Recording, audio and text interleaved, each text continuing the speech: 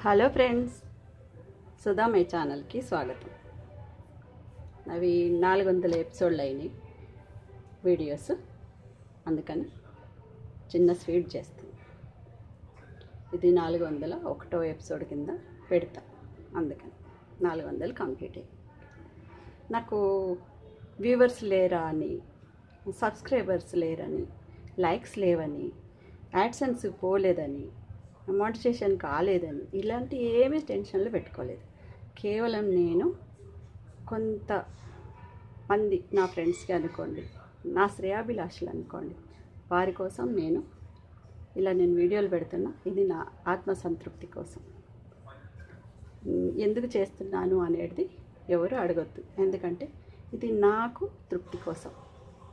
నా తృప్తి కోసం నేను చేస్తున్నా. నేను ఇచ్చే సలహాలు కానీ సూచనలు కానీ అందుకే నా పే నా వీడియో అంటే నా ఛానల్ పేరే నేను సుధామై సూచన అని పెట్టుకున్నాను నా సూచనలు సలహాలు వంటలు నా అభిప్రాయాలు అన్నీ యూట్యూబ్ ద్వారా నేను షేర్ చేసుకుంటున్నాను అదే నా అభిప్రాయము నా ఆశయం కూడా.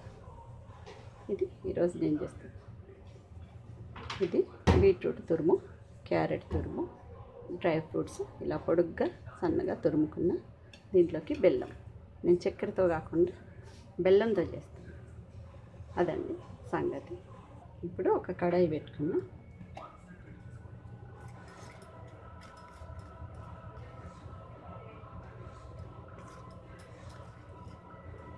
కొంచెం నెయ్యి వేసుకుని నెయ్యి వేసుకొని కొంచెం పెద్దగా పెట్టుకుంటే తొందరగా కరుగుతుంది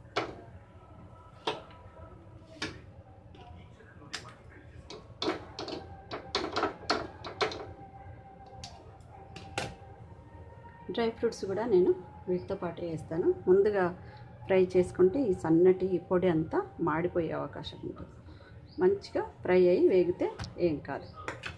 వేగాలి ఉడకాలి అంతే. ఇప్పుడు వేసుకుంటాం కాజు బదాం.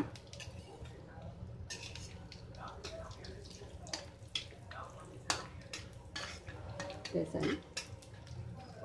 దీంట్లో ఇప్పుడు ఇప్పుడు క్యారెట్ తురుము సన్నగా మంచిగా తురుముకోవాలి. ఇప్పుడు తెరసిమ్లో పెట్టుకోవాలి బీట్రూట్కు తురుము కూడా వేసి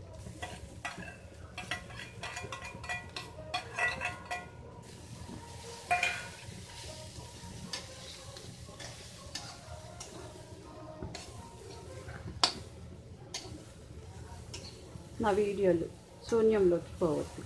అది నా అభిమతం. అందుకని నేను సబ్స్క్రైబ్ చేయమని కోరుకుంటున్నాను. కొత్త వాళ్ళు ఎవరైనా సబ్స్క్రైబ్ చేసుకోండి. అలా మరుగున పడిపోతే నా కృషికి నా ఆశయానికి విలువ ఉండదు.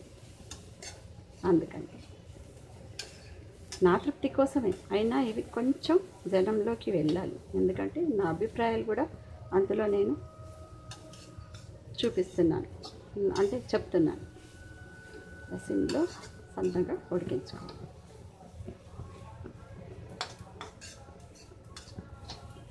కొంచెంసేపు వేయించుకున్నాక మనం కొద్దిగా పాలు వేసుకోవాలి. ఇంకొంచెం కూడా నెయ్యి వేసుకుందాం. ఒకేసారి వేయకుండా అలా రెండు మూడు దఫాలుగా వేసుకుంటే బాగుంటుంది.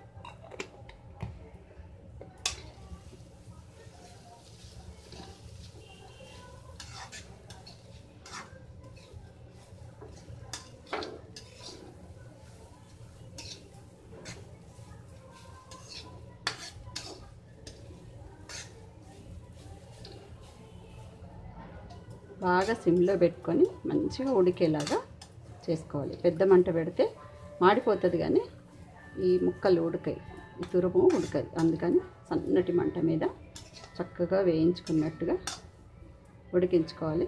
కాసేపు నెయ్యిలో వేగినాక కొద్దిగా పాలు వేసుకోవాలి పాలు వేసుకున్నప్పుడే మనము బెల్లం కూడా వేసుకుంటాం. బెల్లం తురుముకున్న సన్నటి ముక్కల కింద కూడా చేసుకోవచ్చు.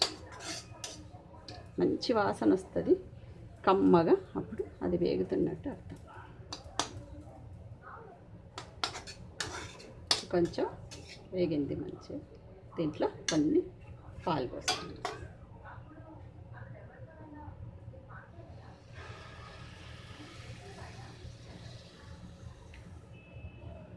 కొద్ది ఒక కప్పెడ్ అయితే చాలు. అంటే మన ఈ తురుము ఎంత ఉందో దాని క్వాంటిటీని బట్టి మనం ఇలా కరగడానికి. ఎందుకంటే బెల్లం కూడా మంచిగా దీంట్లో కరిగిపోతుంది అందుకని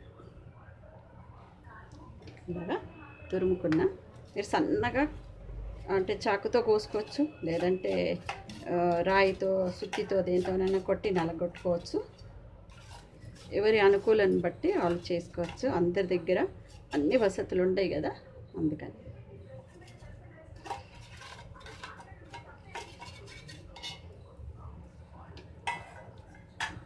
ఇది తీపి పదార్థం కాబట్టి మనం కొంచెం వేసుకుంటున్న బెల్లం.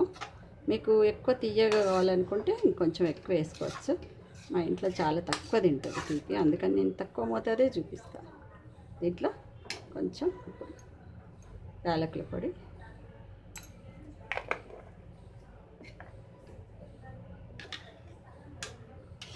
వేసి కలిపి కొంచెం ఉడకనివ్వాలి. సిమ్లోనే ఉడకనిద్దాం. తొందరపడి ఉడికించుకుంటే సరిగా ఉడకది. పాలు ఆవిరైపోతాయి తప్ప ఉడకదు. ఇలాగా.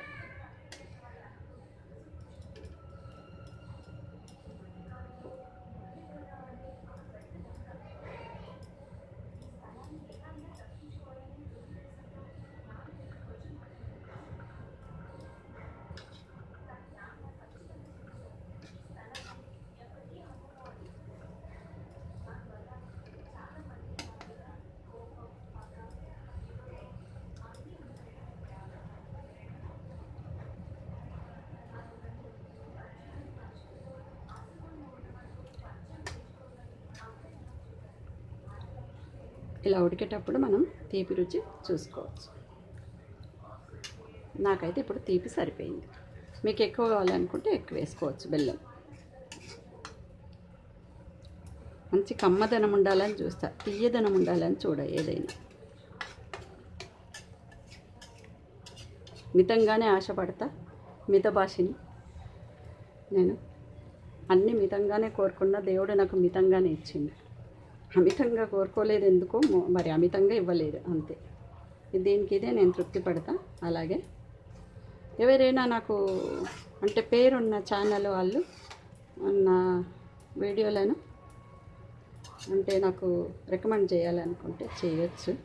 నేను వాళ్ళకి ఇవ్వగలను. నాకు వ్యూవర్స్ తక్కువ ఉన్నారు సబ్స్క్రైబర్ తక్కువ ఉన్నారు అందుకని గుర్తింపు గల ఛానల్ వాళ్ళకి నేను పెట్టాలనుకుంటున్నా.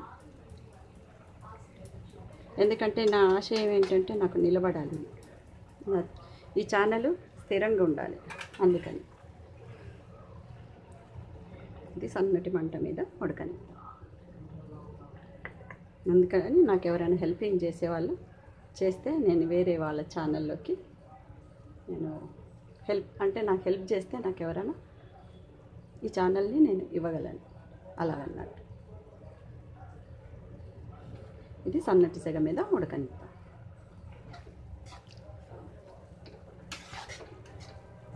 ఇలా పాలు మొత్తం ఎగురుకపోవాలి. అయ్యేదాకా కొంచెం వేపాలి. కొంచెం నెయ్యి కూడా వేసుకుందాం. గిన్నెకు అంటే కడాయికి అంటుకోకుండా బాగుండాలి. కొంచెంసేపు ఇంకా వేయించుకోవాలి. ఇలాగా ఇప్పుడు దగ్గరికి అయింది కలిపి ఇంకా స్టవ్ ఆరిపేసుకుందాం. కొంచెం ఒక ఐదు నిమిషాలు ఇలాగే ఉంచితే ఈ కడాయిలో చక్కగా ఆ కొద్దిగా వాటర్ కూడా డ్రై అయిపోతుంది. ఎందుకంటే లావుగా ఉన్న కడాయిలలో చేస్తే కొంచెం తొందరగా డ్రై అయిపోయి మంచిగా అవుతుంది అన్నట్టు నా ఉద్దేశం.